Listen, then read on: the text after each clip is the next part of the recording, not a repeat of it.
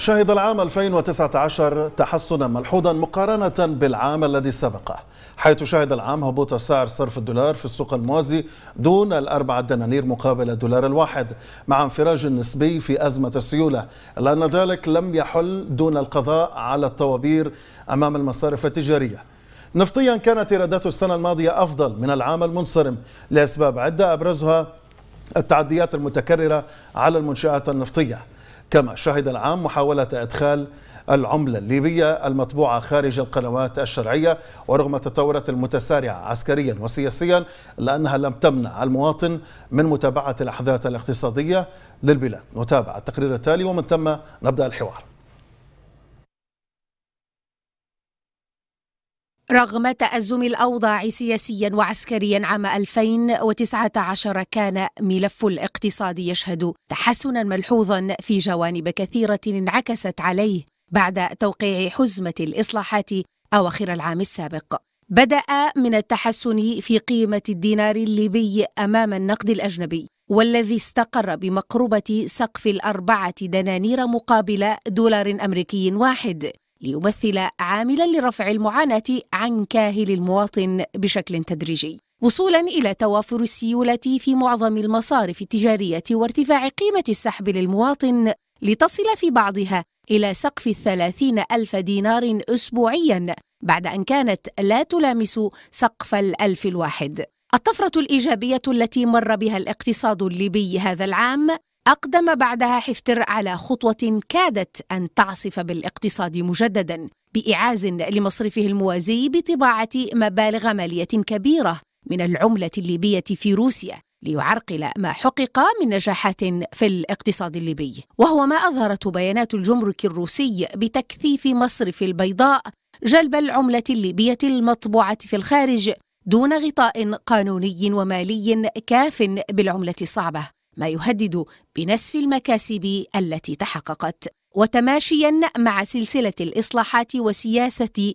معالجة تدهور الدينار الليبي شرعت المصارف التجارية منتصف أغسطس في صرف النصف الأول من منحة أرباب الأسر للعام الحالي. الشأن الذي أشغل المواطن رغم رؤية البعض لهذه المنحة أنها مكسب للتجار. وفي طرف آخر يرى البعض أن هذه المنحة تقوم بإنعاش الوضع الاقتصادي إذ عملت على حلول لكثير من المواطنين استفادة من فارق السعر بشكل أو بآخر. قضية عسكرة المنشآت النفطية لا تزال تثير الكثير من الجدل بين من يدعو لتجنيبها الصراعات السياسية ومن يهدد بإيقاف العمل داخلها أو تصدير نفطها بطرق غير مشروعة.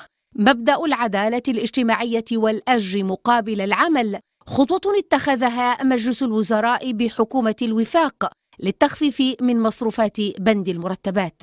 بند أرهق كاهل الميزانية العامة للبلاد. دفع الحكومة لتخفيض مرتبات رئيس وأعضاء المجلس الرئاسي ووزرائها والوكلاء بنسبة 40% فضلا عن المستشارين الذين خفضت مرتباتهم بما نسبته 30% تخفيض المرتبات وصفه متخصصون بالمبادرة الجيدة وفرصة لخلق بيئة مناسبة لتحسين معدلات التضخم وتنظيم الجهاز الإداري بالمؤسسات ودعم برنامج الإصلاح الاقتصادي. ويبقى المواطن الليبي بين توديع عام اقتصادي مضى وانتظار عام مقبل على أمل تحسن الأوضاع الاقتصادية المضطربة منذ سنين واستقرارها.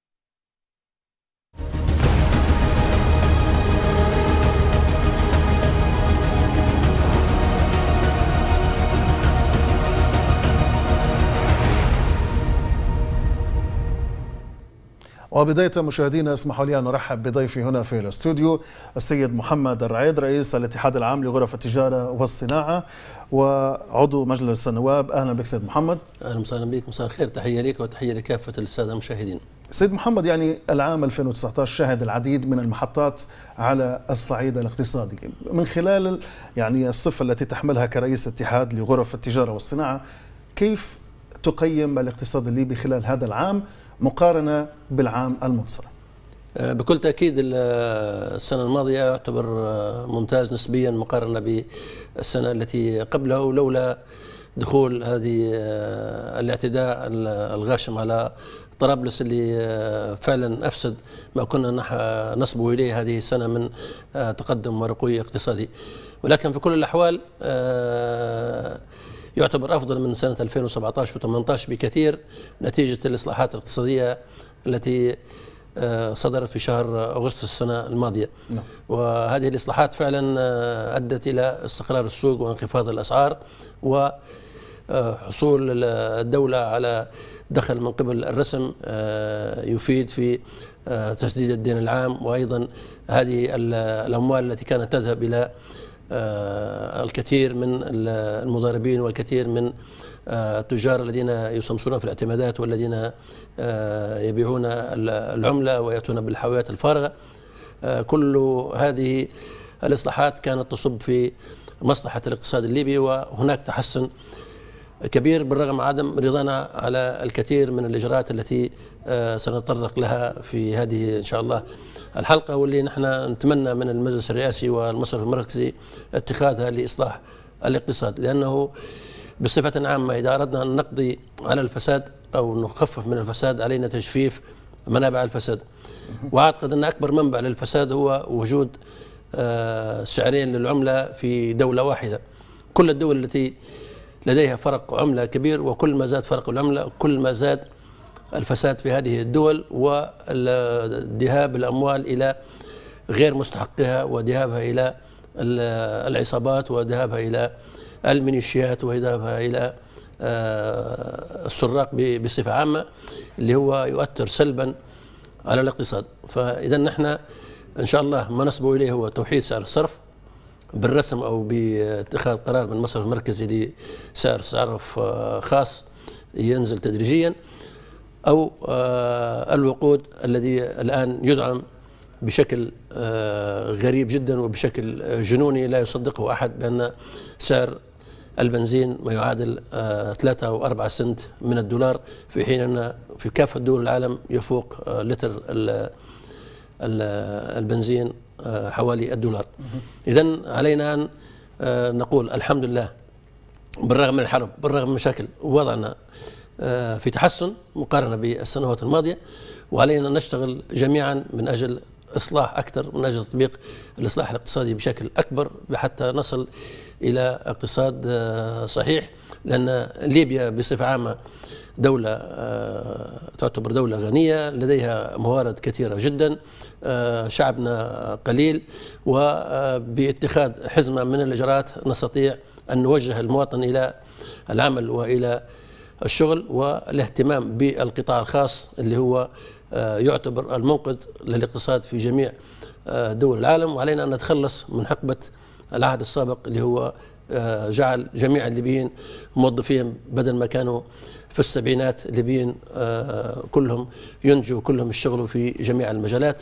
واللي نعرفه أن سنة 79 تم تغيير المجتمع آه، الليبي بالكامل من آه، مجتمع منتج كادح يشتغل إلى موظفين بالكامل في الدولة وفي المعسكرات بحجة التجنيد الكاذبة التي اتخذها النظام السابق. إذا بصفة عامة الوضع أفضل. آه، نلاحظ هذا بوجود الأسعار في آه، أغلب السلع والبضائع التي انخفضت إلى قرابة 50% عما كانت عليه في بداية 2018 و17 توفر السيولة بالمصارف واللي وصلت في بعض المصارف إلى آه، سقف السحب وصل إلى 100 ألف دينار في للأفراد في بعض فروع مصرف الجمهورية.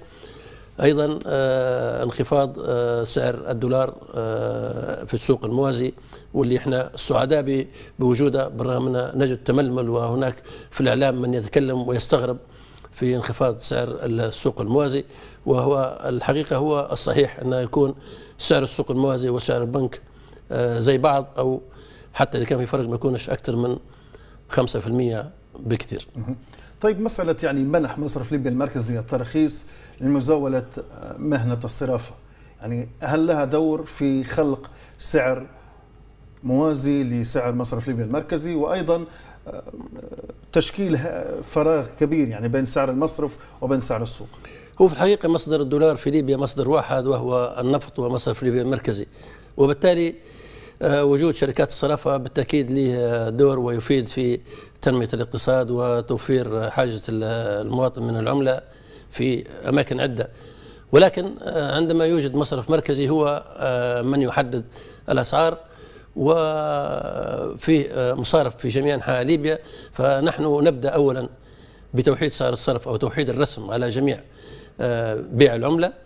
بعدين نخلي المصارف تشتغل وفق القانون وتفتح وسائل الدفع الأخرى وهي الحوالات والاستناد مقابل مستندات وأيضا الفيزا كارد. المفروض تكون مربوطة برقم الحساب وتكون بلا حدود. يعني ممكن واحد ياخذ فيزا كارد تشتغل بها طول وقتها ما دام حسابه فيه فلوسه هو ياخذ. ليش؟ لأن الدولار بالسعر بالرسم لازم أن يفتح للجميع ويعمم حتى نستطيع أن نصل إلى استقرار لسعر العملة ونستطيع أن نقضي على الفساد ونبدأ زي دول العالم ما هو مسموح به في دول العالم من إجراءات مصرفية يجب أن نعمل هنا. لا نكافح إلا غسيل الأموال أو دعم الإرهاب وما الباقي المفروض تكون مفتوحة للجميع. وفي الحالة هذه نستطيع أن نقيم فعلا سعر العملة ويستطيع مصرف مركزي أن يقرر تخفيض الرسم أو لا حسب إمكانيات المصرف وحسب الطلب على العملة.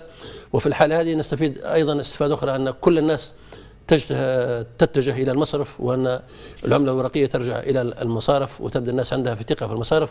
ولكن ما نشاهده اليوم أن أكثر من 70% من القطاع الخاص وخاصة صغار التجار وحتى الشركات الكبيرة في العديد من معاملاتها تحتاج إلى السوق الموازي لأن المصرف المركزي شارط علينا الاعتمادات فقط و لا توجد في المصارف منظومات وموظفين مختصين لفتح الاعتمادات بالشكل السريع.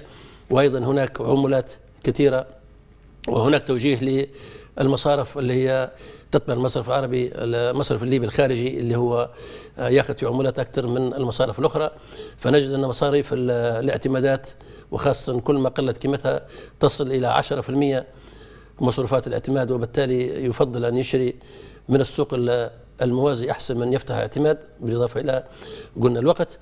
وأيضا هناك مشكلة أخرى وهي وجود جمارك. ووجود جمارك هذا بصراحة هو كذبة في ليبيا لأن الجمرك في دول العالم يسن لغرضين الغرض الأول وهو دعم الخزانة ونحن الآن بفرض الرسم على العملة الخزانة عندها دخل فوق الممتاز وبالتالي لا داعي لدخل الجمارك اللي هو لم يتعدى المليار حتى أيام 2010 و2009 أيضا تجميد الضرائب لفترة معينة حتى نتخلص من الفساد في في جميع هذه النواحي وأيضا حتى نشجع التجار والقطاع الخاص للعمل عن طريق المصرف دون حاجة لتزوير فواتير الاستيراد أو تزوير الميزانيات أو دفع رشاوى للناس اللي في الجهات المختصة هذه.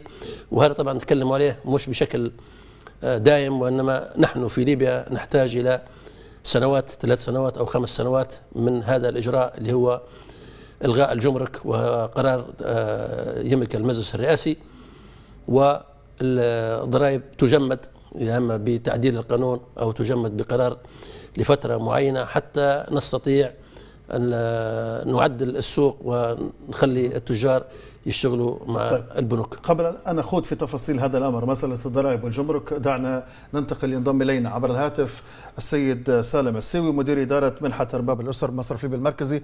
بداية أهلا بك سيد سالم. مساك سعيد ومرحبا بك بضيوف الكرام ومشاهديك. سيد سالم يعني بداية فيما يتعلق بمنحة أرباب الأسر كيف تقيم أداء مصرف ليبيا المركزي عموما وإدارة المشروع خصوصا مع صرف هذه المنحة؟ بالنسبة لمنحه كما تعلم منحة 2018 الإضافية اليوم إحنا اقفلنا اوقفت المنظومه عليها لمده حوالي الآن 10 أشهر من انطلاقها في مارس 2019 بالنسبة ل 2000 بالنسبة لمنحة 2019 اللي بدأ في شهر أغسطس مستمرة. اليوم يعني نهاية هذا اليوم نكون قفلنا على 18 16 يمكن ما زال وقت الانتهاء بتاعها غير محدد. يطلع منشور بتحديد الفترة الزمنية لانتهاء هذه المخصصات. جملة يعني نرى التنفيذ آه، يعني آه، التنفيذ بشكل جيد جدا. لو قارناه بالسنوات الماضية آه، تنفيذ ال- ال- الأعداد الأرقام الوطنية لفتره أربع شهور شهور يعني يعني فاتت أو فاقت اللي نفذ في عام 2017 لمدة سنة كاملة.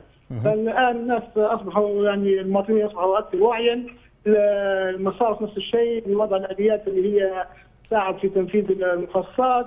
آه، أيضا آه، آه، الاجراءات اللي نفذتها آه، فهم الاليه للتنفيذ فأصبح يعني الأمر أصبح روتيني أكثر من هو اجتهاد في الأمور هذه كلها وبالتالي ساعدت أو سارعت في عمليه آه، حجز المخصصات لأعداد كبيرة من المواطنين في زمن آه، زمن جيد جدا يعني.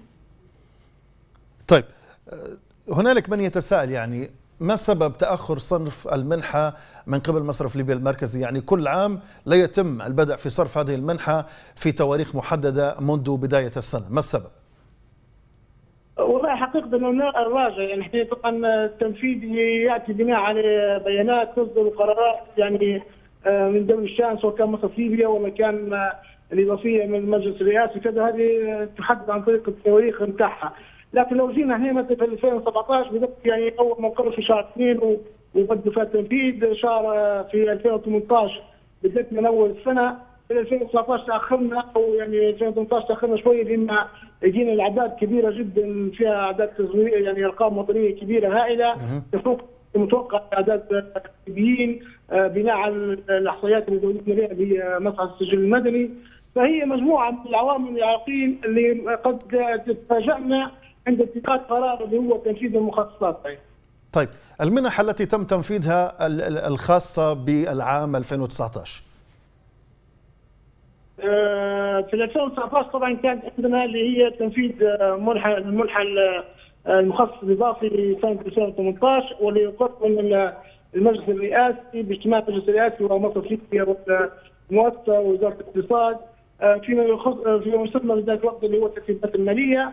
واللي هي قيمتها 500 دولار. بدأنا في التنفيذ في كان في شهر مارس 2019 واقفلت آه، بنهاية عام آه، دوام هذا اليوم اللي هو 31 12 2019 في حين هذه ب- بالعام 2018 آه، عام 2018 نعم. بالنسبة ل 19 كما قلت لك يعني كما نوات إن بدينا في شهر 8 ومستمرين فيها يعني ما زال آه، وقت الإقصاء عليها مهم. طيب متى يتوقع؟ يعني الانتهاء. إذا كان لديك رقم يعني كم بلغ عدد المنح التي تم تنفيذها من قبلكم والمنح المتبقية؟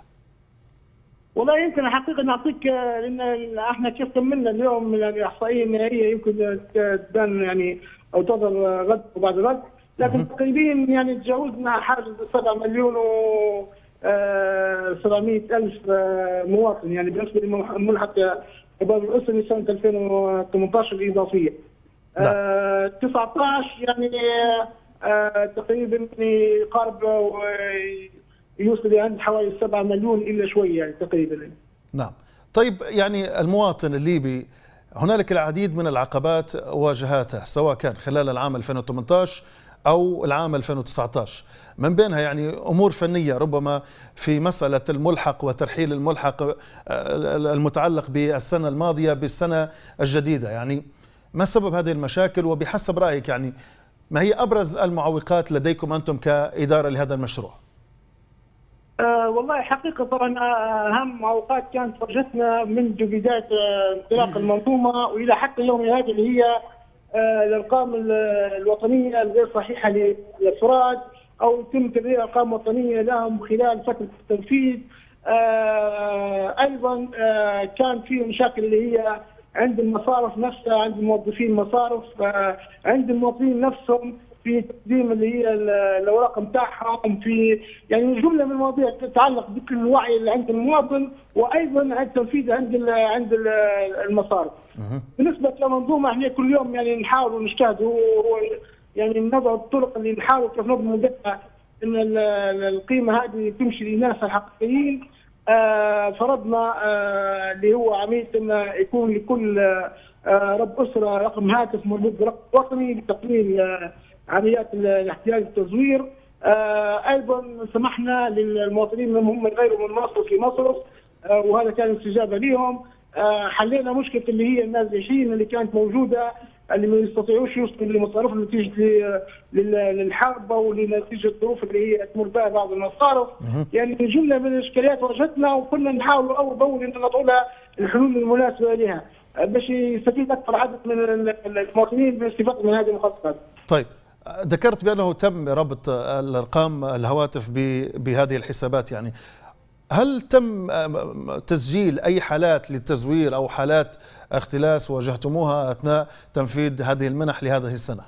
سنة 2019 والله آه، حقيقة عملية ربط الهاتف طبعا آه، وخلينا نكونوا يعني واضحين في النقطة هذه أقرت لمنحة اللي هي ل 2019 يعني بداية الفعالية كانت في شهر 8 ونتائجها هذه حتنتهي أو تبان بانتهاء المنحة اللي هي 2019 ما نجيش نقيمها لمنحة 2018 الإضافية آه للآن يعني حسب الشكاوي اللي وردت لنا في مصر سيبيا يمكن سجلت حوالي خمس حالات فقط آه، اللي تم يعني آه، آه، تم تنفيذ مخصصاتهم بدون علمهم وذلك باستخراج بيانات هواتف قد يكونوا مش ليهم أو آه، كيف تمت العملية هل آه، يعني آه، يشتركوا فيها آه، شركة شركات الاتصالات ال- الموظفين المصارف قد يكون هناك يعني الآلية حقيقة آه، تحتاج للبحث في أسبابها لأنها تعتمد عدة عوامل آه، هل آه، الارقام الهواتف تم تنفيذها بدون آه، يعني ب آه، بتنازل أو بتوكيل أيضا في المصرف نفس الشيء. فهي كلها من جملة جملة يعني ما نشوف ان خمس حالات يعني مقياسا بال بال 7 مليون أو آه، نقولوا بالأحرى مليون و400 ألف عائلة يعني يعتبر آه، عدد يعني آه، فوق الممتاز يعني في ظل الظروف اللي نمر بها إحنا الآن نعم. وقت وأيضا مقارنة بالسنوات الماضية اللي كانت المعاملات تسرق من أصحابها بدون علم الآن الحمد لله يعني العملية دي يعني أصبحت يعني تقل والناس نعم. أصبحت واعية وعارف كل واحد عارف ان عنده قصد تمشي خط ما يروحها يسال عليه في أول منحه ما يجيش يعني. طيب سيد السيوي مسألة تجديد البطاقات يعني البطاقة البعض يتساءل لما يتم تجديدها كل سنة؟ لما لا تبقى نفس البطاقة ويتم شحنها كل عام؟ والله هي حقيقة بالنسبة لما يخص البطاقات هذه كل مصرف عنده إدارة بطاقات تختص يعني تتبع المصرف نفسه. آه، في بعض المصارف يعني آه، عندها بطاقة لمدة صالحة لمدة سنتين. في عندها مصارف صدر بطاقة في سنة 17 جت في 18 باش تحاول تتغلب على عمليات ال- الانتحال وكذا أصدر بطاقة أخرى.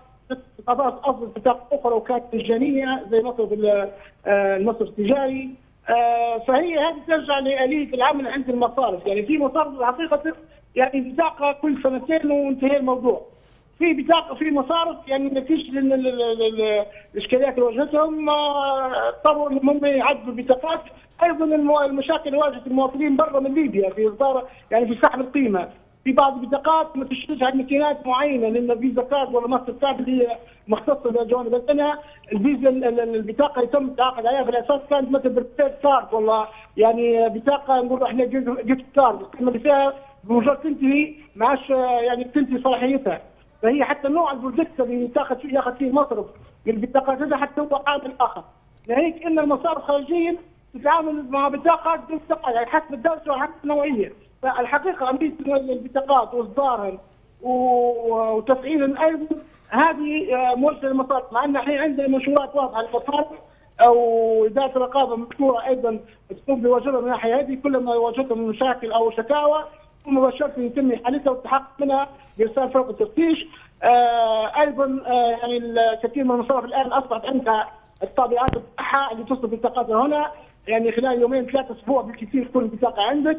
في للاسف بعض المصارف اللي إمكانياتهم ضعيفة شوية قاعدين يصدروا برا من من ليبيا وهذه تحتاج من 10 إلى 15 يوم باش يتم إصدار بطاقه باش تشحن إذا كان ظروف آه، الجوية والمسارات المناسبة يعني يقولوا في خلال 20 يوم تكون مستلمه إذا كانت الظروف آه، خارجة عن الإرادة طول الفترة الفترة ولكن آه، في المجمل آه، لو نشوف ثقافة ال- البطاقات ثقافة الدفع الإلكتروني الثقافة هذه يعني لو قارنا نفسنا في 2016 2017 مع اليوم في مشارف 2020 أعتقد إن يعني نعم. الفكرة أصبحت واضحة وإن الكونسبت بتاعها أصلا كل الناس يعني الآن حتى الشباب والعجوز يعرف شو البطاقه ويعرف إمتى يصرفها وين يصرفها وكذا يعني نعم. هذه. أشكرك جزيل الشكر السيد سالم السوي مدير برنامج منحة رباب الأسر كنت معي عبر الهاتف شكرا جزيلا لك مشاهدينا نتوقف مع هذا الفاصل ومن ثم نواصل ابقوا معنا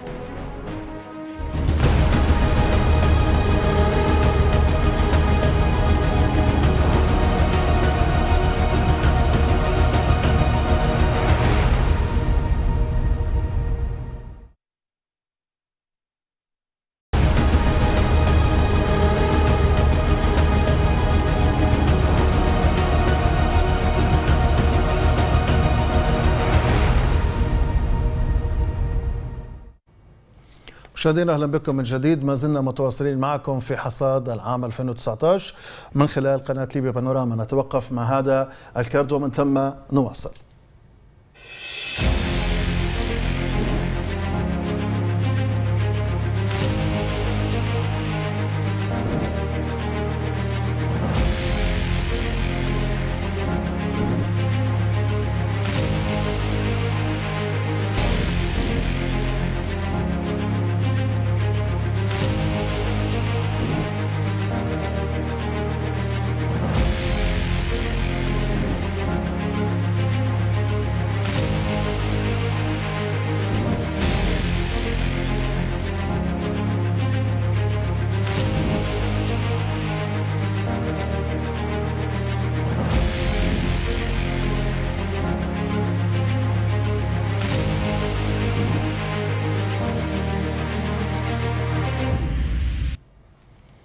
مشاهدينا أهلا بكم من جديد. ارحب بضيفي هنا في الاستوديو سيد محمد الرعيد رئيس الاتحاد العام لغرف التجارة والصناعة وعضو مجلس النواب.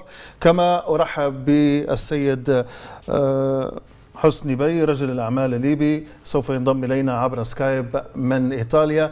أهلا بكم جميعا.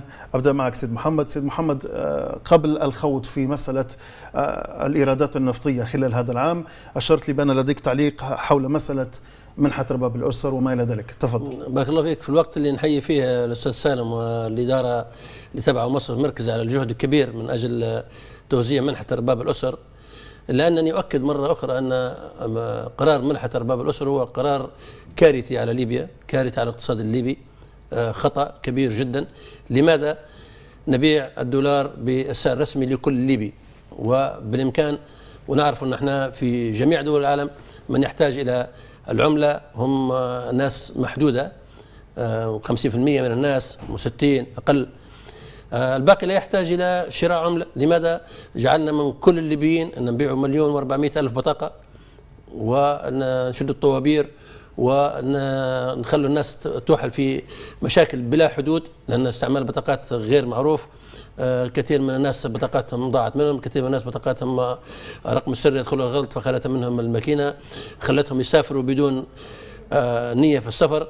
آه، 50% من أرباب الأسر لا يملكون ثمن هذه العملة. آه، العائلة اللي مكونة من من ستة منات تبي 3000 دولار 3000 دولار يبقوا حوالي 5000 دينار ليبي.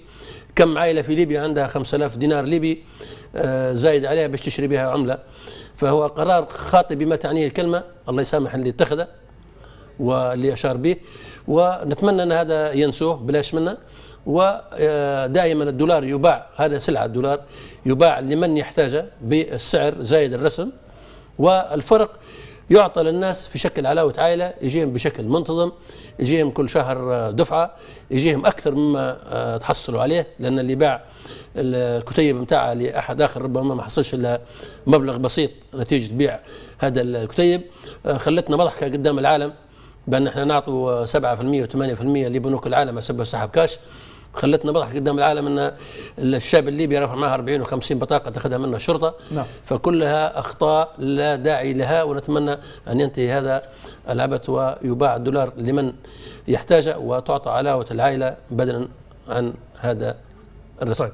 دعني أنقل ذات السؤال إلى السيد آه، حسني بي. سيد حسني كيف تعلق يعني على ما قالها السيد محمد الرعيد؟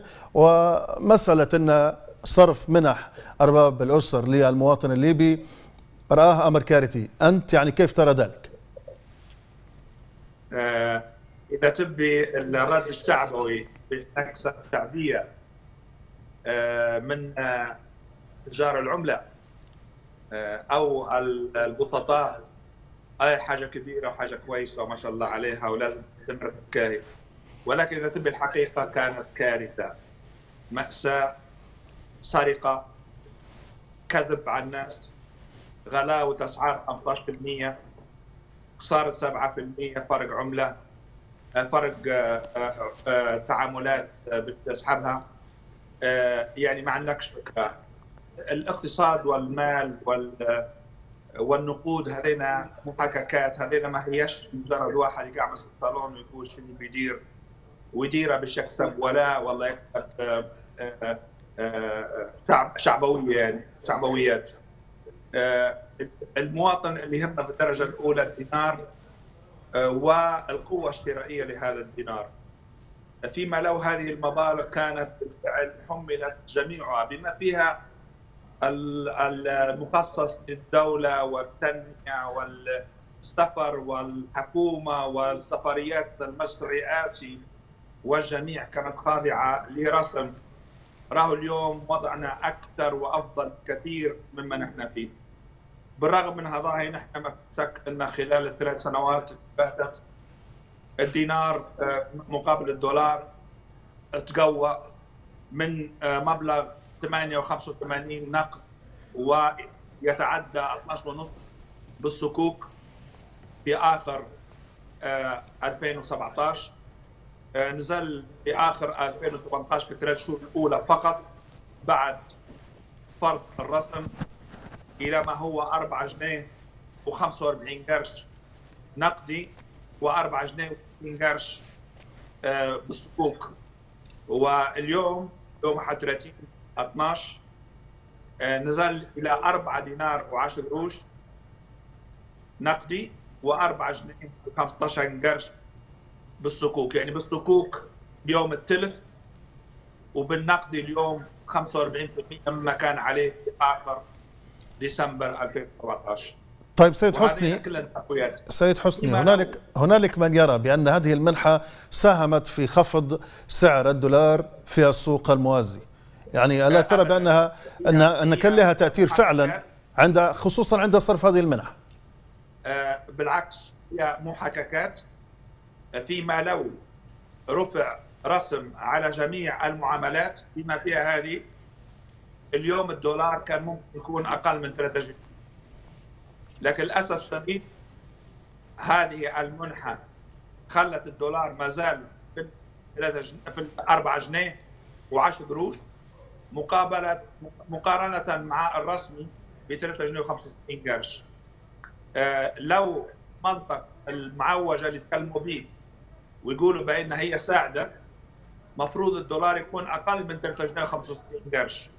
لأن مفروض يكون أقل من هذا السعر. ولكن الاقتصاد والمال هذين والنقد محاككات لازم تأخذ كلها في الاعتبار ما كنا نصرفه فيه 2017 من دولارات لم يكن أقل مما صرفناه في 2018 ولم يكن أقل بما نصرف فيه في 2018 مع فارق النتائج وفارق الصرف هو اللي جعل من الدولار في 2017 8 جنيه و85 قرش نقدي و12 جنيه ونص بالصكوك وهو ما جعل الدولار اليوم 4 جنيه و10 قروش نقدي و4 جنيه و15 قرش آه، بالصكوك لما بما لو تم بالفعل آه، آه، تعميم الرسم على جميع الأغراض بالنسبة للعملة اليوم نأكد لك كان المفروض يكون أقل من 3 دينار الدولار.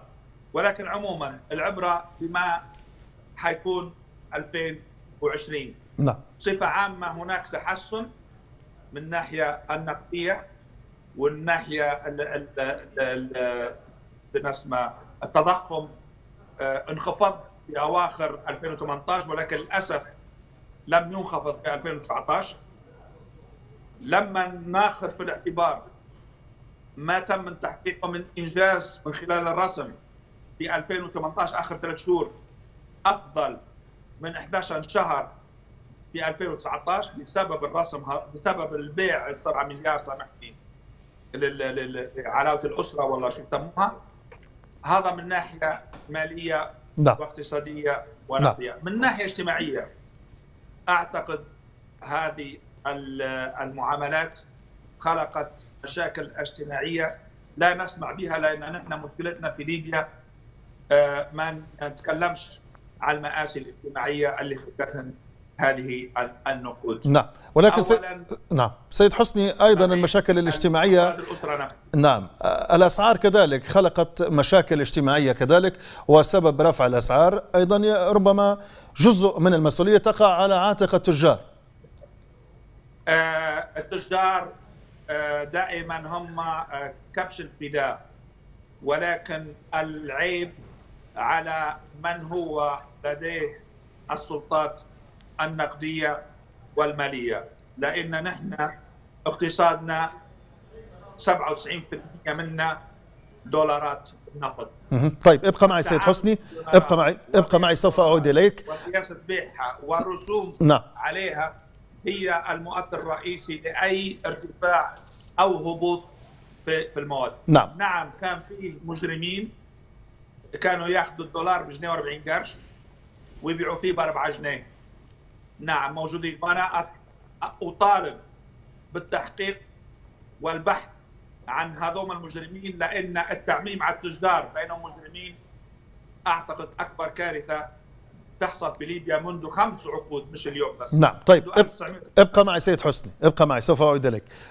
بالعودة لك سيد رعيد. سيد رعيد يعني الآراء تشابهت بينك وبين السيد حسني. لكن البعض يرى بأن هذه آه، وجهة النظر تنبثق عن رجال أعمال وليس مواطنين عاديين. يعني مسألة أنك أنت آه، توقف منح هذه ال- المنح. طيب ما البديل؟ البديل واضح. البديل واضح أن إحنا نبيع الدولار لمن يحتاجه لمن يستحقه بالسعر زايد الرسم والرسم هذا يدخل لخزانة الدولة. وخزانة الدولة تعطي علاوة العائلة اللي هي دين على الحكومة. ستة سنوات متأخرة تعطيها تعطي حتى شهرين لكل شهر. عندما العائلة المكونة من من خمسة أولاد تتحصل على 650 دينار في الشهر. لما نعطي شهرين نعطيه 1300 في الشهر. مش أفضل من أن آه، شري 3000 دولار وباعها وأعطي منها 10% عمولة وربما صارت مشاكل أخرى واضطر يسافر باش يصرف تذاكر سفر وإقامة و أو مشي له العمره ماذا استفدنا من واحد؟ مشي لتركيا أو مشي للعمرة. هذا دمار اقتصاد. هذه مصيبة كبرى كارثة. أنا أطالب بمحاسبة من أقر علاوه رباب الأسر لأنه أضر بالمجتمع الليبي. وضر بالاقتصاد الليبي وخلق لنا آه، مشاكل اجتماعية لا تحصى ولا تعد. اللي ما قدرش يتكلم عنها السيد حسني وغيرنا الموضوع هو هناك مشاكل اجتماعية، مشاكل اجتماعية كيف؟ لما ال- المواطن يعطي بطاقته لشخص يرفعها ليجيب له العملة من برا وتضيع منه أو تاخذها منه الشرطة ويرجع هنا ويبدأ آه، ضرب وحرب بين العائلتين. هذا هذه مشاكل اجتماعية لا نعرفها نحن. المشاكل الأخرى الحصول على البطاقة. وخاصة في البداية كانت مشاكل غير عادية. كانوا يدفعوا رشوة باش يفتحوا حساب ويفتحوا يدفع رشوة باش ياخذ بطاقة. ومشاكل لا تحصر هذا وناس كثيرة جدا سافرت بالبطاقة وما اشتغلتش. وبقى غادي يبحث ويطلب من نعم. يعطيه باش يرجع لليبيا. ولكن هذه يعني جلها أمور فنية تتعلق بمواضيع لماذا؟ نعم. ولكن سيد رعيد في المقابل هنالك عائلات يعني دخل الفرد فيها لا يتجاوز 500 دينار. يقول لك يعني أنا عندما آخذ هذه كم المنحه عدد العائلة؟ تعيني. قولوا خمسة مثلا. خمسة أشخاص. خمسة أولاد عندهم 500 دينار علاوة عائلة. زايد 150 للمرأة. إذا 650 جنيه. نعطيه شهرين لكل شهر. شهر من السنوات السابقة وشهر نتاع اليوم. نعطيه 1300 في الشهر طيب حسب 1300 في الشهر في 12 شهر. يطلع له رقم أكبر جدا من المبلغ اللي حصله من بيع من شراء العملة وبيعها وأصبح هو مضارب وأصبح هو يخالف القانون. طيب في المقابل ألا ترى بأن هذه المنحة سوف تنتهي تلقائيا بمجرد القضاء على السوق الموازي لا داعي آه، لو وحدنا سعر الصرف انتهت البطاقة. وهذا المطلوب وهذا اللي نحن نطالب به. لابد من توحيد الرسم على آه، بيع العملة للجميع. إذا ما وحدنا سعر الصرف للجميع وبعنا العملة بسعر واحد للجميع. سننهي علاوة أرباب الأسر ونعطي علاوة العائلة وتستقر البلاد. وهناك ناس تترك الوظيفة لأنه هو علاوة العائلة تعطى للموظف وغير الموظف. وبالتالي اللي عائلته خمسة مع جوزته ما تشتغلش يحصل 1300 في الشهر. وهو قاعد يشتغل في الدولة الآن بمرتب 700 جنيه. فمن السهل جدا انه يستغنى عن الوظيفة ويستفيد من علاوة العائلة اللي هي بالقانون. ليه؟ واللي الدولة الآن تعطي لها فيها من الرسم اللي مفروض على العملة يعني من لحيته فتله ما خسر شيء أنت. وتنظم الأمور والناس تترك الوظيفة والأمور آه، تتحسن ونتخلص من كل هذه السلبيات اللي جابت لنا آه، منحة أرباب الأسر. منحة أرباب الأسر لا يوجد بها أي شيء إيجابي.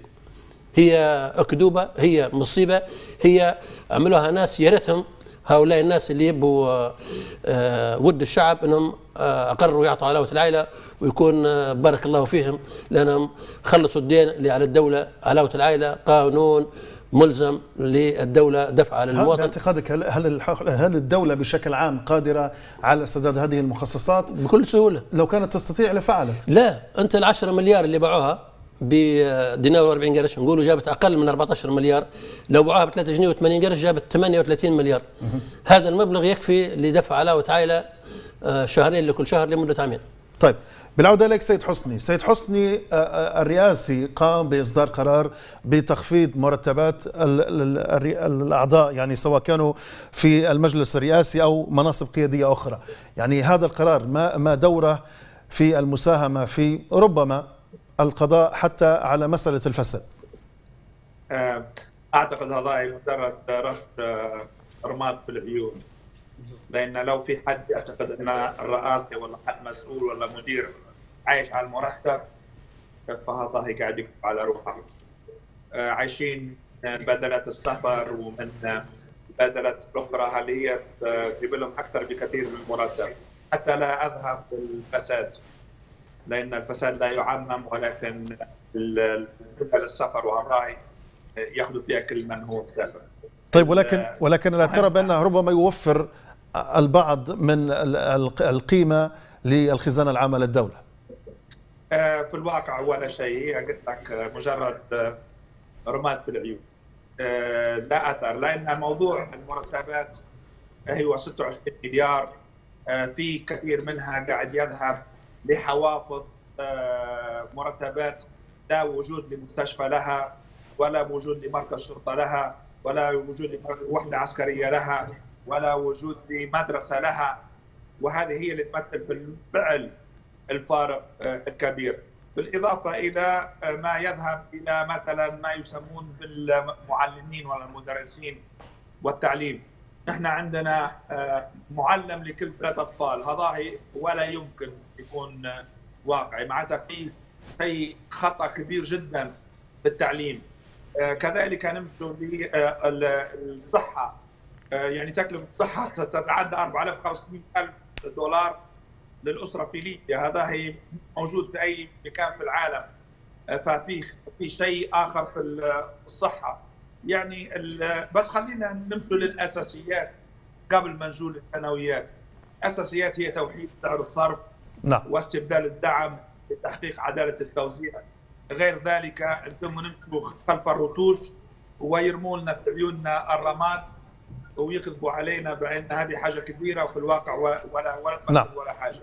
وضحت الصورة سيد حسني. طيب أنتقل بك لموضوع آخر لضيق الوقت. العام 2019 أيضا شهد مساله طباعة عملة خارج يعني نطاق مصرف ليبيا المركزي.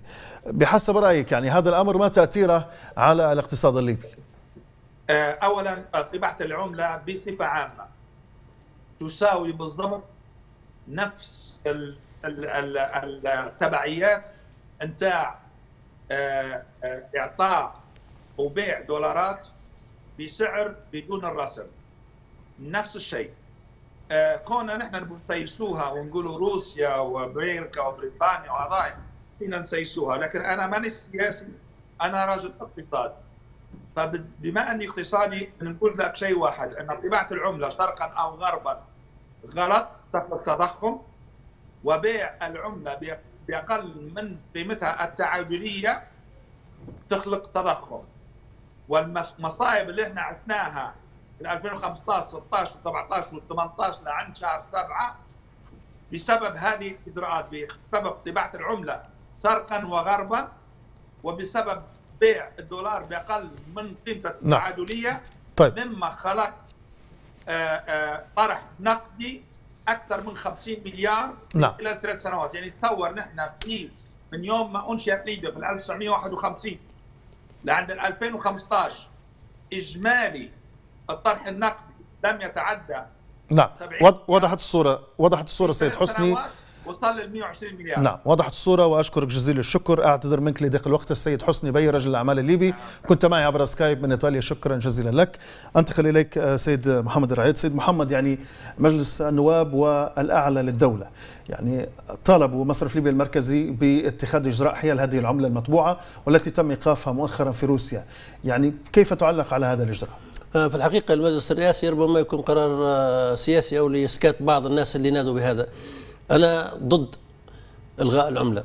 العملة يجب ألا تلغى. العملة طبعت وما طبع في الشرق وفي الغرب هو خطأ وهو يضر الاقتصاد وإلغاء العملة يضر الاقتصاد الليبي ويقسم ظهر الاقتصاد الليبي ويوضعنا في رباك غير عادي وبالتالي لا داعي لإلغاء هذه العملة. وعلى مصرف ليبيا المركزي توحيد رسم على جميع العملات ويستطيع بهذا أن يبيع ال- الدولار في البنك للجميع وبجميع طرق البيع المعتمدة. وبالتالي ستدخل كل الأوراق النقدية إلى مصرف المركزي وفي ذلك الوقت يصبح المركز المصرف المركزي هو المسيطر هو الذي يستطيع أن آه، يخفي أي نوع من العملة يراه وجودها في السوق غير صحيح سواء من الطبعات القديمة أو من طبعات اللي طبعت في المنطقة الشرقية. وبالتالي هذا الإجراء الصحيح اللي علينا أن نتكلم فيه وأما آه، الكلام على ال- العملة التي طبعت في الشرق وأنها فزاعة كبيرة نعم. راهي العملة طبعت مرة واحدة واتت على دفعات والدفعة الأخيرة هي حجزت في مالطا وإحنا مع جيبها للمصرف المركزي و آه، بالشكل القانوني بالشكل التدريجي يتم إخفاء أي عملة آه، يستطيع المصرف المركزي إلغاها بشكل آه، نقولوا إحنا سري وبشكل دكتوني نقدروا ن- نصلحوا الاقتصاد وننقصوا من حجم الأوراق في السوق الليبي. نعم السيد محمد الرعيد رئيس الاتحاد العام لغرف التجارة والصناعة وعضو مجلس النواب كنت معي هنا في الاستوديو. شكرا جزيلا لك. مشاهدينا نتوقف مع هذا الفاصل ومن ثم نواصل حصادنا مستمر. ابقوا معنا.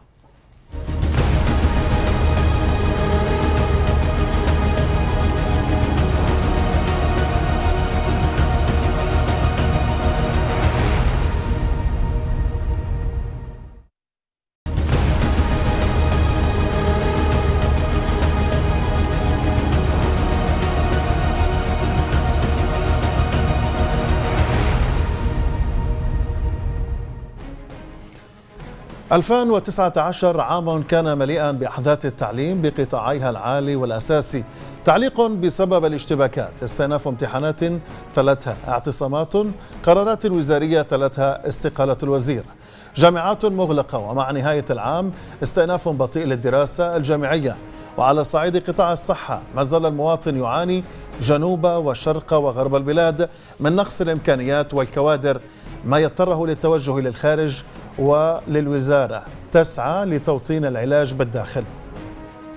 قرار بزيادة مغرية في الرواتب إلا أنه لم يتعد كونه قد خط فما هي إلا أيام حتى ألغي. مشاهدينا بداية اسمحوا لي أن نرحب بضيفي هنا في الاستوديو الأستاذة سعادة بنقاب الناشطة الاجتماعية. كما سينضم إلينا عبر الأقمار الصناعية من مدينة مصراتة السيد إسماعيل الكسكاس نقيب أعضاء هيئة التدريس بجامعة مصراتة. أهلا بكم جميعا. أبدأ معك سيدة سعاد. مرحبا. من خلال متابعتك للمشهد الليبي من الناحية الاجتماعية تقييمك للأوضاع الاجتماعية للمواطن الليبي بشكل عام خلال العام 2019 نعم بسم الله الرحمن الرحيم. بداية شكرا على الاستضافة.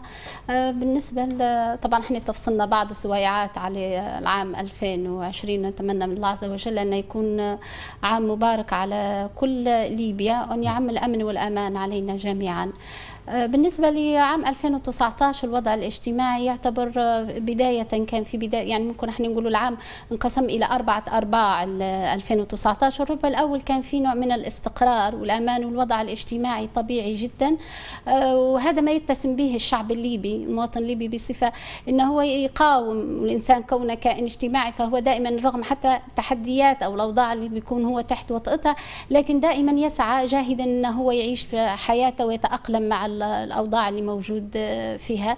فتجد الناس بتعيش حياتها الطبيعية رغم الأزمات اللي صارت رغم غلاء الأسعار رغم آه، اللي هي أزمة السيولة اللي هي أثرت في الحياة ال- الاقتصادية واللي بالتالي الحياة الاقتصادية لها دور أساسي في الحياة الاجتماعية ومدى ال- الإنسان هو كيف بيمشي فيها.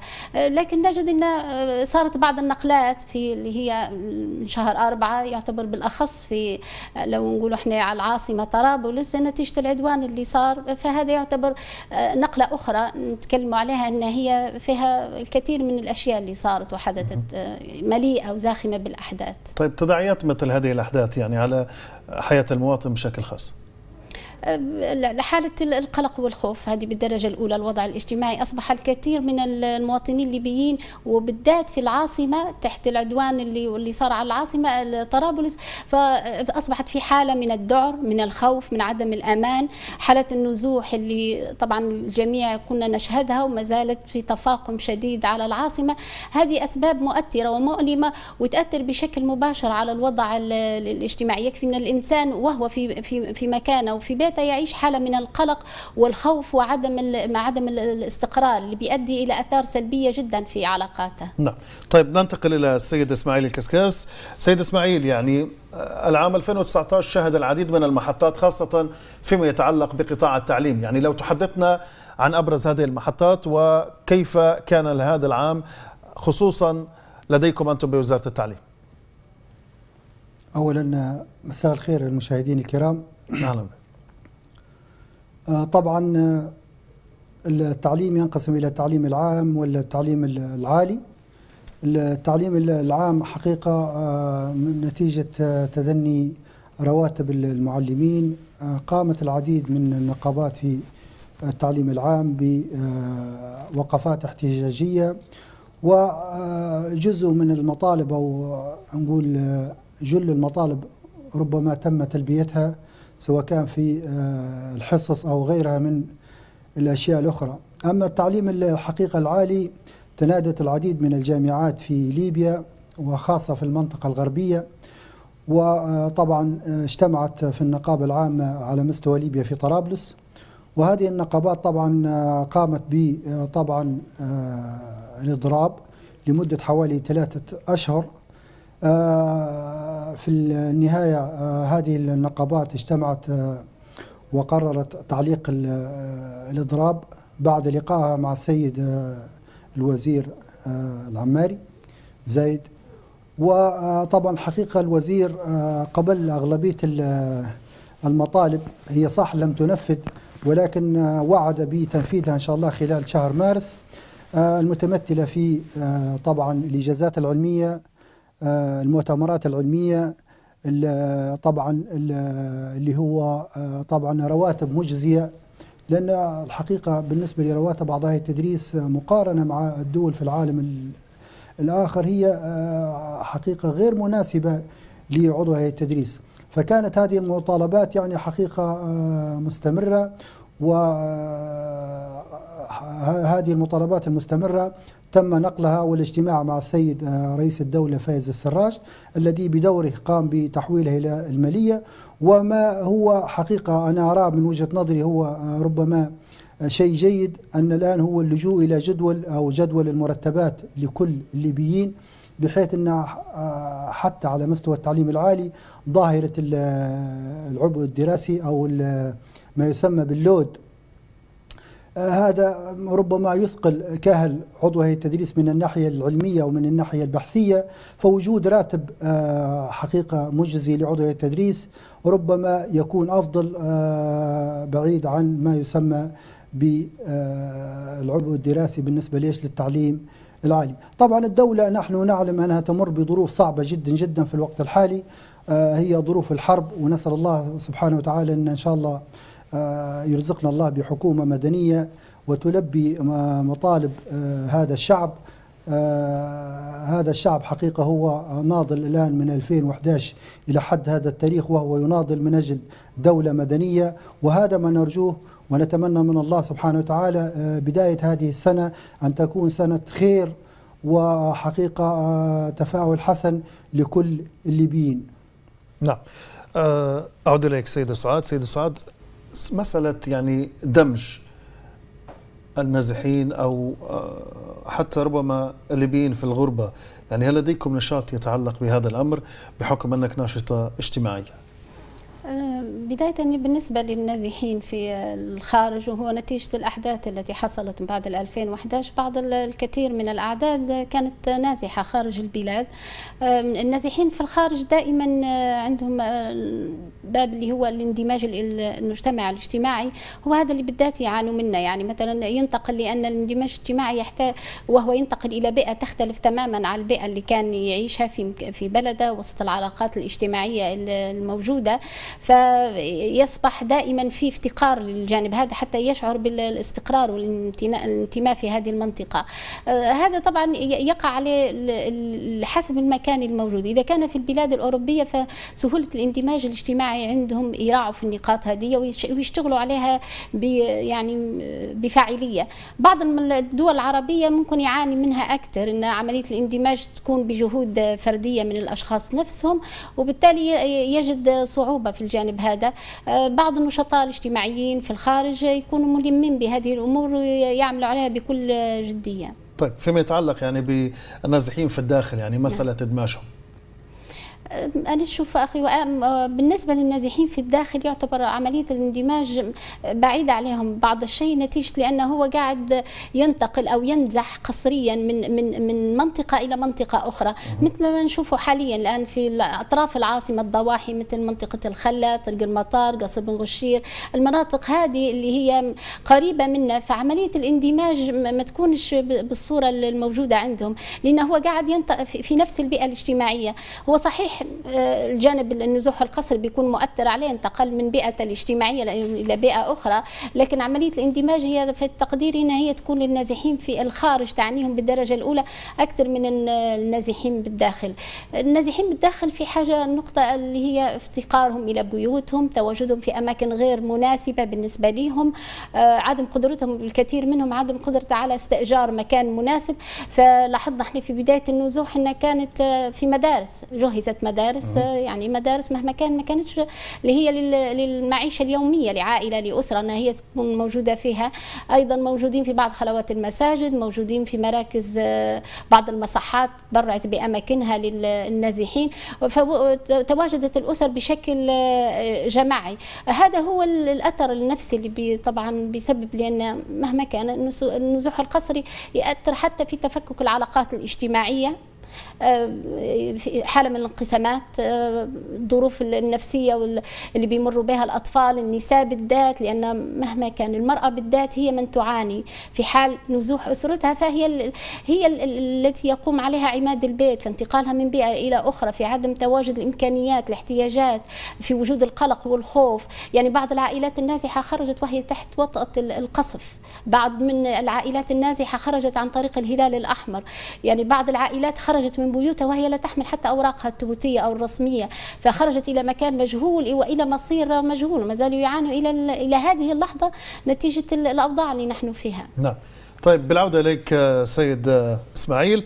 سيد إسماعيل يعني هنالك بعض العائلات نزحت إلى المدارس. يعني ما تأثير ذلك على سير العملية التعليمية خلال العام 2019 والله على ما أظن هو النزوح هذا في بالنسبة لل- للمدارس أظني هو في منطقة طرابلس بشكل أكبر حسب ما يعني حقيقة أظن في ربما في بالنسبة لمصراتة وزليطن والخمس ما أظنش بهذا الأعداد الكبيرة لكن هو العدد الأكبر موجود في في في مدينة طرابلس. حقيقة كان في عدد كبير من النازحين في المدارس وهذا يؤثر حقيقة على العملية التعليمية بالنسبة للتعليم العام. آه، أيضا في موضوع نبي نتكلم فيه لو سمحت لي آه، أنا أتمنى حتى ما بدري ما عرشش عليه. نحن زي ما قلت لك صدر قرار رقم واحد لسنة 2019 بخصوص تعليق الإضراب. وحقيقة هذا كان بناء على اجتماع بين نقابات الجامعات في ليبيا في طرابلس. وبالأغلبية الأصوات تم تعليق هذا الإضراب. طبعا البعض للأمانة ينادي بي بي باستمرار هذا الإضراب وأنا كنقيب لجامعة طرابلس ضد هذا الموضوع. نحن لدينا مطالب كما تكلمت في السابق لدينا زي ما قلت لك إجازات علمية لم تصرف وهي فيها قرارات صادرة. لدينا مؤتمرات علمية. لدينا العديد من الأشياء. طبعا أيضا برنامج الإيفاد للمعيدين عدد كبير من المعيدين ما زال ما حصلوش قرارات إيفاد. عدد من أعضاء التدريس يحملون إجازات الماجستير درجات الماجستير ولم يوفدوا. فهذه كل أشياء أتمنى أنها هي تطبق. ولكن في نفس الوقت حقيقة أنا كعضو هيئة التدريس وممكن حتى كرب ولي أمر يعني لطالب إنك أنت سنة كاملة تقوم بتعليق طبعا تقوم بإضراب. هذا حقيقة أنا أرى أنه هو يضر بالعملية التعليمية. نحن الآن وصلنا وتم وصلت رسالة للمجلس الرئاسي ووزير التعليم لكن الآن وحتى في وضع الدولة الآن المفروض أن إحنا خلاص بناء على هذا القرار نحن طبعا علقنا للدراسة. الآن حوالي 12 كلية أو 13 كلية في جامعة مصرات الآن تدرس. أظني في زليطن بالكامل في الخمس بالكامل في طرابلس بالكامل في الزاوية في كل الجامعات الآن. الحمد لله الجامعات رجعت. لأن بعض الطلاب يعني في اللي يقول لك أنا والله هذا آخر سمستر بنتخرج. طالب زي ما تقول في مرحلة الامتياز طالب في سنة رابعة طب طالب. فيجب أن إحنا نراعي الاثنين حتى من من نواحي أخرى. أن إحنا ما لا والله بنبرق فقط. نحن نعلم أن أعضاء التدريس لهم مطالب ومطالب مشروعة. لكن في نفس الوقت نحاول إن إحنا ما نضرش بالعملية التعليمية ونضر بطلابنا اللي هم أولادنا حقيقة. وأيضا ربما بنقول لك أنا ممكن أنا في الجانب السياسي لست لكن ربما حتى بعض الجهات هناك من يتمنى أن تبقى الدراسة ربما معلقة الدراسة طبعا ما فيش الاضراب مستمر طبعا يحكي لي واحد في قصة لو سمحت لي نعم. قالوا في الحرب العالمية تقريبا الأولى أو الثانية لما ألمانيا كانت تبي تسيطر على بريطانيا تشيرشل اجتمع مع المسؤولين في في في بريطانيا وسألهم قال لهم طبعا هل التعليم التعليم في بريطانيا ما وضعه؟ قالوا له والله بالنسبة للتعليم العالي والتعليم اللي هو العام المدارس تشتغل. قال لهم طبعا اذا بريطانيا بخير. نحن نعلم إن حتى الحركة في هذه الجامعات وهذه المدارس نعم. هي لها دور حقيقة في الحياة داخل المدن. فنحن طبعا لظروف معينة حقيقة نتيجة القصف أو لظروف معينة والشيء الآخر اللي بنعرج عليه وهذا ما هو حال كل الجامعات. أصبحت نسبة الطالبات حقيقة كبيرة جدا يعني حتى من ناحية زي ما قلت لك طالبة بالتخرج طالبة لديها ظروف خاصة. فنحن زي ما قلت لك الآن وصلنا رسالة للمجلس الرئاسي وللوزارة وهم حقيقة السيد الوزير وعدنا وتحمل المسؤولية الكاملة أنه هو إن شاء الله خلال شهر ثلاثة حيكون في حل لكل هذه طبعا العوائق أو الاشياء المعلقة واللي هو إن شاء الله حيتم حلها. وابتداء من ما قال السيد أو زي ما قال السيد رئيس الدولة اللي هي جدول موحد والإسراع فيه لكل قطاع التعليم. نعم ابقى معي سيد إسماعيل. نتحول إلى السيد فوزي ونيس المتحدث باسم وزارة الصحة. سيد فوزي أهلا بك. قطاع الصحة حاله كحال باقي القطاعات. شهد ومر بالعديد من العقبات خلال العام 2019 يعني لو طلبت منك بداية أن تقيم لي أداء قطاع الصحة خلال العام العام 2019 كيف تعلق على ذلك؟ آه مساء الخير ليك ولكافه ضيوفك الكرام. أهلا بك. آه إن شاء الله سنة خير على آه بلادنا وإن شاء الله سنة 2020 تكون سنة سلام وإن تنتصر قواتنا قوات الجيش الوطني التابع لحكومة الوفاق ويعم الرخاء. في الدولة الليبيه. طبعا قطاع الصحة بالنسبة لهذه السنة يعتبر يعني وضع استثنائي على باقي قطاعات الدولة الأخرى خاصة المتغيرات أو الاحداث التي حدثت خلال سنة 2019 ابتداء من العمليات العسكرية التي أثرت تأثير مباشر على قطاع الصحة اسوه بباقي القطاعات المختصه اللي مثلا قطاع الدفاع وما يخص العمليات العسكرية. بصفة عامة هناك ارتياح في قطاع الصحة في الدولة الليبية باعتبار أن أن تعتبر سنة 2019 من السنوات الذهبية في تجهيز المستشفيات المختلفة معظم المستشفيات حقيقة تم تجهيزها بأحدث الأجهزة والمعدات الطبية وللأمانة بتسهيلات من الأجهزة الرقابية باعتبار أن قطاع مهم يمس حياة الإنسان فكانت كافة التسهيلات قدمت من الأجهزة الرقابية لتقديم الخدمة الطبية المتميزة. أيضا زي ما حكيت لك القطاع ومنذ انطلاق العمليات العسكرية في بداية هذا العام وقطاع الصحة يواكب هذه العمليات العسكرية خطوة بخطوة عن طريق التجهيزات المختلفة للمستشفيات وعن طريق طبعا علاج الجرحى بمختلف مسمياته سواء بالداخل أو أو بالخارج. لكن بصفة عامة كانت سنة ذهبيه في التجهيزات والترتيبات وكانت من السنوات المميزة لقطاع الصحة في تقديم الأجهزة والمعدات الطبية أيضا في الأدوية والمستلزمات كان في تحسن ملحوظ في توفير الأدوية والمستلزمات مقارنة بالسنوات السابقة. نعم. نعم. سيد نيس يعني العديد من المناطق يعني كالمناطق الجنوبية والمنطقة الوسطى يعني تشتكي من مسألة نقص الكوادر الطبية، يعني أنتم ك ك كوزارة يعني ما هي الحلول المقترحة للعام القادم؟ طبعا فيما يخص الأطقم الطبية صحيح هو موضوع يعني قديم حديث. الأطقم الطبية بالنسبة لبعض المناطق مثل المنطقة الوسطى مثل منطقة مصراته لديها العدد الكافي من الأطقم الطبية. ممكن بعض المناطق اللي هي بعيدة عن المناطق المدن الكبيرة صحيح تعاني إن كانت اعتمادها اعتماد كلي على الأطقم الطبية الأجنبية. الأمر اللي بعد الأحداث اللي صارت في الدولة الليبية والوضع الأمني يعني قتلت كافة العناصر الطبية الأجنبية. الأمر الذي أدى إلى وجود يعني فراغ كبير لا لا ما, ما استطاعتش ممكن حتى وزارة الصحة تغطيته باعتبار حتى الوضع الأمني للعنصر الطبي الليبي للتنقل من مدينة لمدينة أصبح صعب.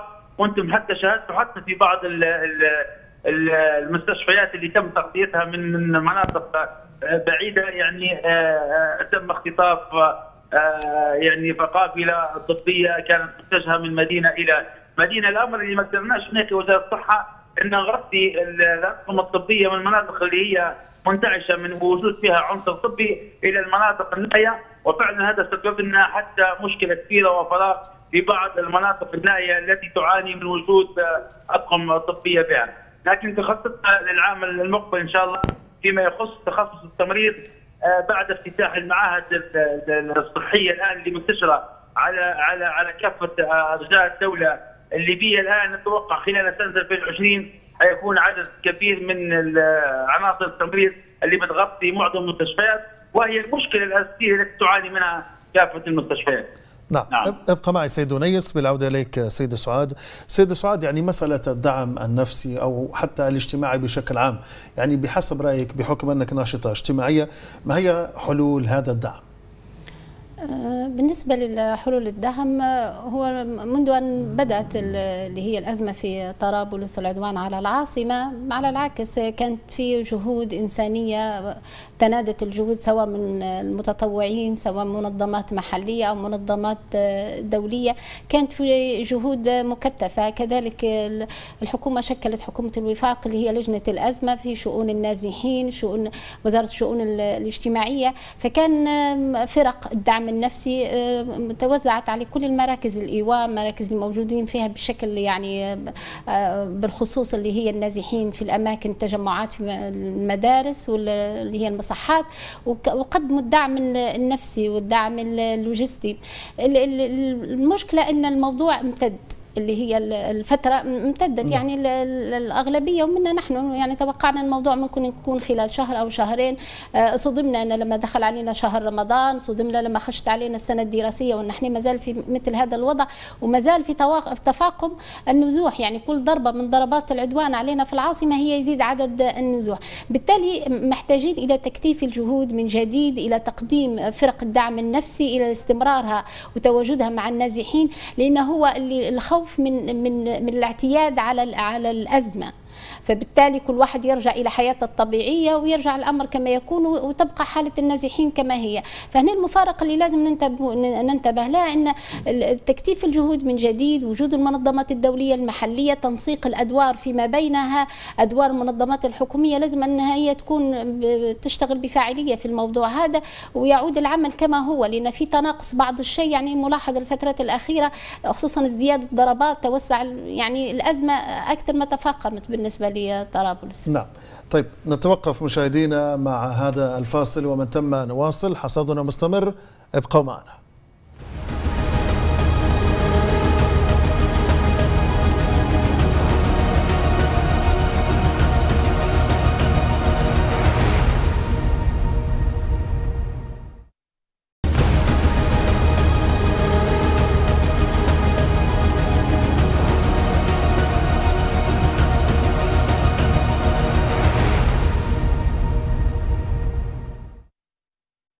مشاهدينا أهلا بكم معنا في حصاد العام من قناة ليبيا بانوراما، حصادنا مستمر وبالعودة إليك سيد إسماعيل كسكاس نقيب أعضاء هيئة التدريس معي عبر الأقمار الصناعية من مصراته. أعود إليك حيث توقفنا قبل قليل. مسألة يعني الوعود التي تلقيتموها من قبل الوزير الجديد، يعني البعض يتساءل طيب ما الذي تغير عقب استقالة الوزير السابق؟ وما هو الجديد فيما يتعلق بمطالبكم التي تمثلت في مسألة فصل الوزارتين؟ والله الحقيقة موضوع فصل الوزارتين هذا موضوع ربما يكون بعيد علينا شوية. لماذا؟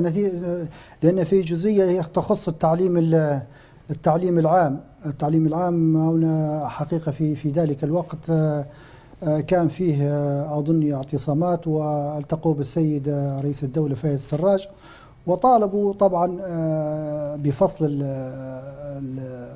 التعليم العالي عن التعليم التعليم العام.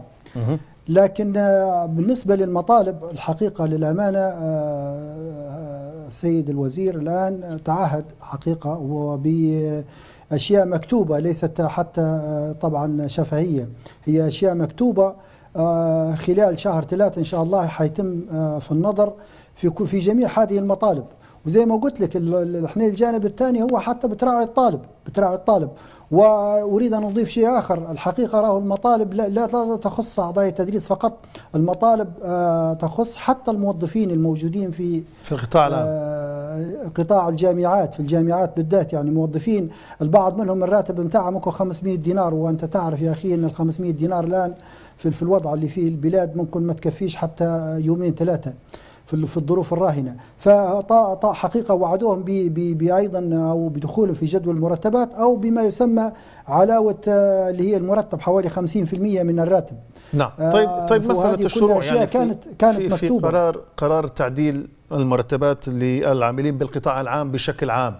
يعني هل تم فعلا البدء وعقد الاجتماعات وورش العمل فيما يتعلق بوضع هذا الجدول؟ بالنسبة للتعليم العالي كانت في لجنة في لجنة موجودة وأنا شاهدت ال ال ال هذه اللجنة بنفسي واطلعت على الجدول نفسه. وحقيقة هو الجدول إذا كان تم إن شاء الله تطبيقه هو مجزي حقيقة بشكل كبير. يعني آه، رواتب تبدأ من المعيد إلى عضو التدريس اللي هو طبعا آه، بداية كعضو التدريس ثم الدرجات اللي تلي اللي هي آه، طبعا المساعد محاضر إلى محاضر إلى أستاذ مساعد إلى أستاذ مشارك إلى أستاذ. فهذه الرواتب حسب الجداول آه، حقيقة هي مجزية. وأيضا زي ما قلت لك موضوع اللي هو اللود أو العبء الدراسي المحاضرات. هذه الحقيقة أحيانا حتى يحدث عليها نوع من التزاحم ما بين أعضاء التدريس لكن الآن وجود راتب آه، مجزي لعضو التدريس يحل كثير من الإشكاليات واللي أتمنى من الله إن شاء الله انه يكون لجميع ال- ال- القطاع ال- العاملين في الدولة الليبية أن يكون هذا الجدول جدول موحد وإن شاء الله يتم اعتماده. وزي ما قلت لك هذه الوعود هي وعود مكتوبة ليست شفهية. والوزير إن شاء الله حسب ال- ال- ال- الاتفاق اللي حصل من النقيب العام سواء كان النقيب الم- أعضاء التدريس أو نقيب الموظفين اتفقوا على هذا الأساس. ونتمنى الله إن شاء الله زي ما قلت لك في السنة القادمة ل 2020 انها تكون سنة خير على الليبيين. آه، طبعا ون- ونرى آه، هذه الأشياء على أرض الواقع. نعم. بالعودة إلى السيد فوزي ونيس المتحدث باسم وزارة الصحة. سيد فوزي أيضا العام 2019 شهد يعني إصدار قرار بزيادة المرتبات فيما يتعلق بالكوادر الطبية وأيضا شهد قرار يلغي أو إيقاف هذا القرار. يعني كيف تعلق على هذا الأمر؟ نعم سيد ونيس طيب فقدنا الاتصال بالسيد فوزي. أعود إليك سيدة سعاد. سيدة سعاد بالحديث عن الجانب الاجتماعي من خلال متابعتك لهذا المشهد يعني 2019 كيف تقيمي أداء ودور منظمات المجتمع المدني. طبعا دور منظمات المجتمع المدني عادت إلى الساحة من جديد نتيجة ازمه العدوان فبالتالي رجعت إلى إلى مجالها بسرعة وكانت في الموعد وقامت بدور جبار حقيقة المنظمات المحلية. كذلك كان في مساندة المنظمات الدولية. أيضا حركة الكشافة قامت بأدوار جبارة في هذا الأمر. يكفي ان هي مراكز الاغلب أغلب مراكز المدارس اللي كانت فيها مراكز الايواء استلمتها الكشافة وكان لها دور لوجستي ومعنوي للنازحين كذلك الهلال الأحمر الليبي لجنة النازحين. فقاموا بالمساعدات بالدعم بتقديم الأغذية الوجبات الغذائية الألبسة كل هذه الأمور يعني كانت فعلا في الموعد. الإشكالية اللي صارت إن تفاقم الأعداد النازحين يعني الآن نقدر نقولوا انه وصلت الأعداد تقريبا إلى ما يفوق ال 140 ألف نازح داخل طرابلس.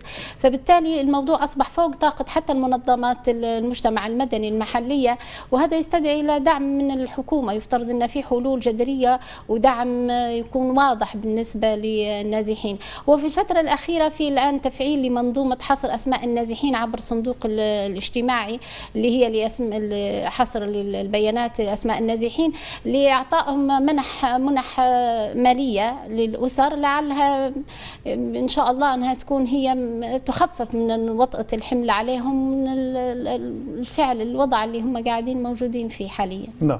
طيب بالعودة إلى السيد ونيس سيد ونيس ذكرت لك قبل قليل العام 2019 شهد قرار بزيادة مرتبات العاملين بالقطاع الصحي وأيضا صدر قرار يجمد تفعيل هذا القرار وتنفيذه. وقع هذا الأمر عليكم أنتم ككوادر طبية. صحيح. طبعا صدر السيد رئيس المجلس الرئاسي قرار بإنشاء لجنة طبعا هذه تختص بمرتبات قطاع الصحة. تبني قطاع الصحة كما هو معروف لدى الجميع. تعتبر من المرتبات القليله حقيقه في الدولة الليبية مقارنة بباقي القطاعات.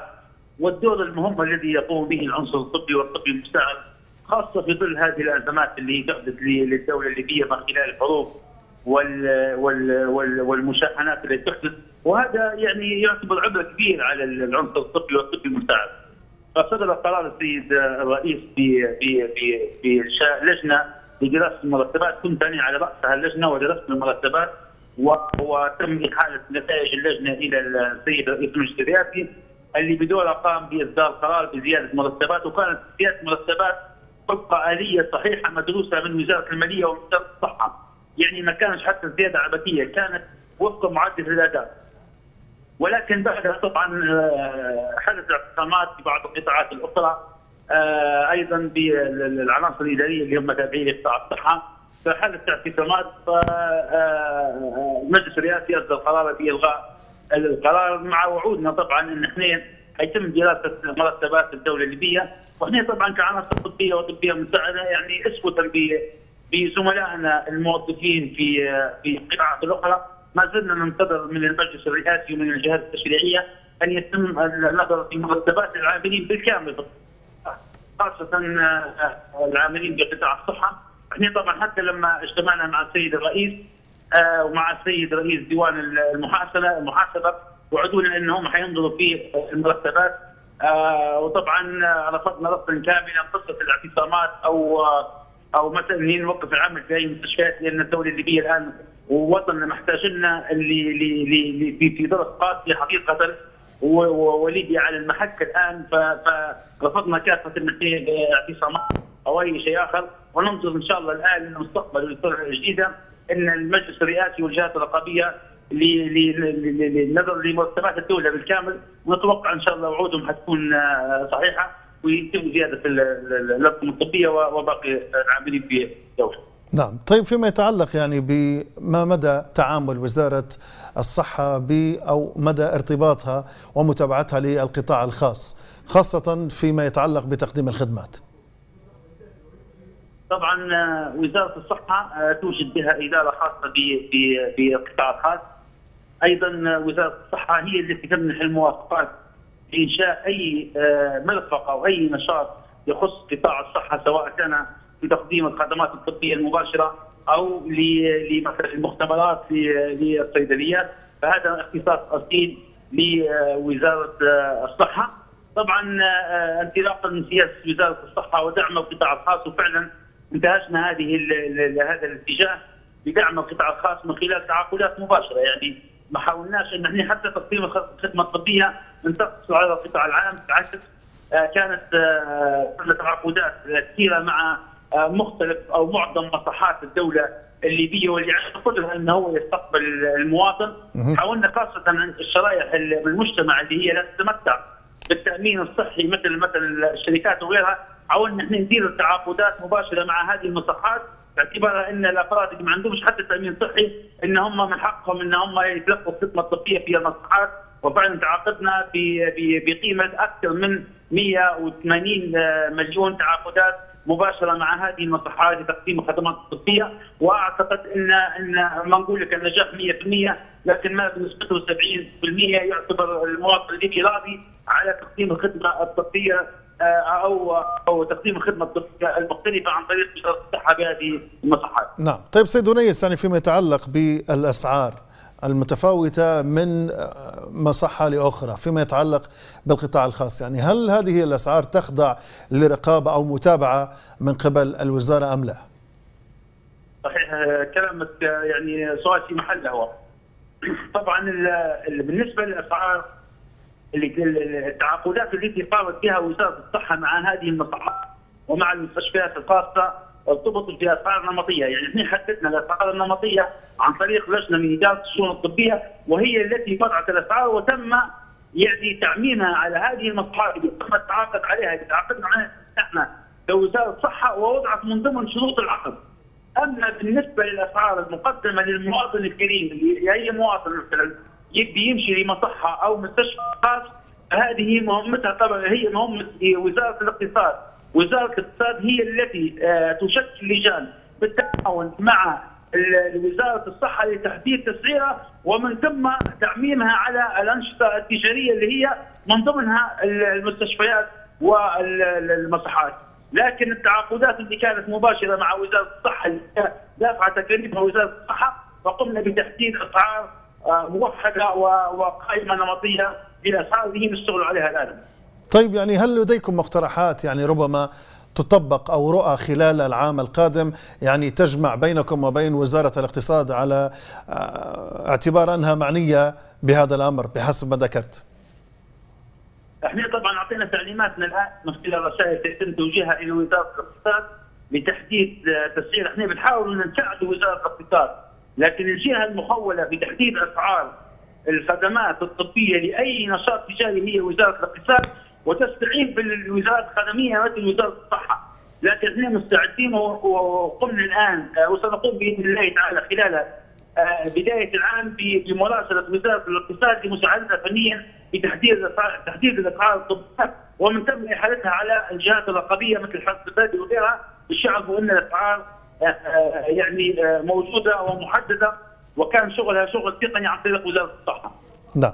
أعود إليك سيد سعاد. سيد سعاد يعني توقعاتك للعام القادم على الصعيد الاجتماعي هل يمكن أن نرى تحسن فيما يتعلق بهذا الجانب وبهذا الملف أم أن الأمر ربما يظل كما هو عليه في ظل استمرار المعطيات كما سارت بها في العام 2019 آه، طبعا هو الإنسان إن شاء الله نتفائل بالخير في 2020 وأن تنتهي آه، هذه الأزمة الحقيقية العدوان الموجود الحرب على العاصمة أو صد العدوان لأن المؤشرات المفروض تمشي للأفضل. يفترض أن إحنا آه، حسم هذا الأمر وأن إحنا نصل إلى مرحلة الصد والرجوع إلى من حيث أتى. وبالتالي الأزمة هي حلولها ليست بالدرجة السريعة. يعني مثلا أزمة ملف النازحين وهو من أهم الملفات الحالات وممكن الضيوف الكرام اللي يتكلموا إنه هو معني بالجانب الصحة جانب التعليم لأن هي أسرة كاملة نازحة فهي معنية بكل الجوانب. معاناتها